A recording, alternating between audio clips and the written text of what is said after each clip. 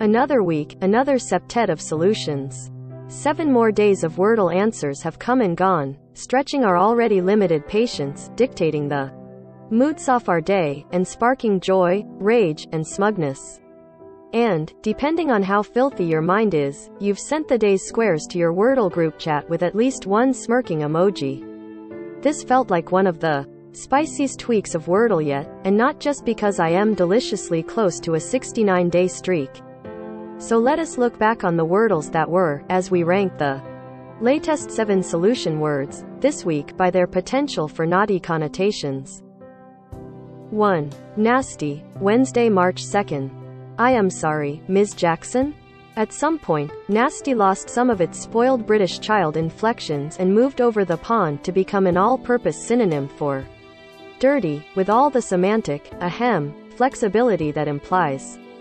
Like so many of the words AAVE has enriched, the many context-dependent meanings are full of possibility.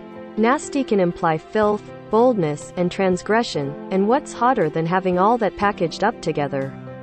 This particular word also tricked plenty of folks who perhaps got the Y too late and then ran out the clock on tasty, hasty, and or pasty.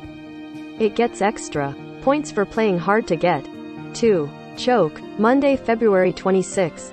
Let's be absolutely clear. This is not a sexy word for everyone. Even if it once was for some of us, with consent, there are only so many times you can. Witness people online telling some pop star or hulking actor to choke me daddy before it loses its power. But we're here not to kink shame, nor to vanilla shame. We're here to have our brains pushed to the limit by this smart and saucy little word game that's completely taken over our lives. If you XD out on this. 1. The taunting imperative probably only made you want to get it more. 3. Brine, Saturday, March 5th. Sweat is a sort of brine, isn't it? This one is a stretch, but if your sexy time doesn't have at least a hint of salty, tangy flavor to it, you might be dawing it wrong. Plus, you can't make a dirty martini without olive brine. Phew, saved it. 4. Ahead, Friday, March 4th. Here for its proximity to head, obviously. But just a reminder, it's not a race. 5. Cloth, Sunday, March 6th. There's something about the word cloth that suggests rough spun, homely textures, but it's also just not a sexy word. That firm th on the end feels like my childhood lisp, it's far too close to clod and clod, and of course, you can't be clothed without cloth.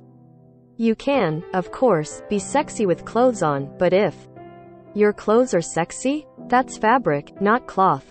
Search your feelings, you know it to be true. 6. Morn, Thursday, March 3rd. The only reason this ISNT hash 7 is because of the existence of grief, funeral, I just want to feel alive sex. Look, they can't all be winners, but in a week where we got choke and nasty, there was always going to be something that felt a little distasteful in this list. 7. Rupee, Tuesday, March 1st. Sorry to all the hopeful crypto bros out there, but no specific currency is or has ever been sexy. Although pound